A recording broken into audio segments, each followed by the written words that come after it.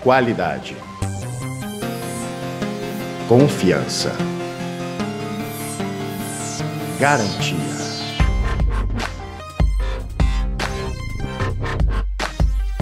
Maninho Car, o seu veículo está aqui.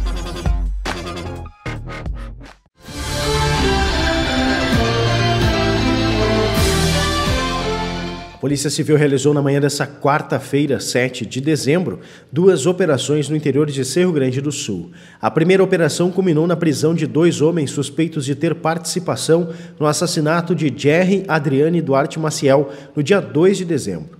Um outro suspeito, de 21 anos, já havia sido preso na data do crime. Os suspeitos foram localizados em uma casa na localidade do Garambel, onde os policiais cumpriram o mandado de busca e as prisões preventivas dos suspeitos identificados pelas iniciais VS, de 32 anos, e DS, de 27 anos.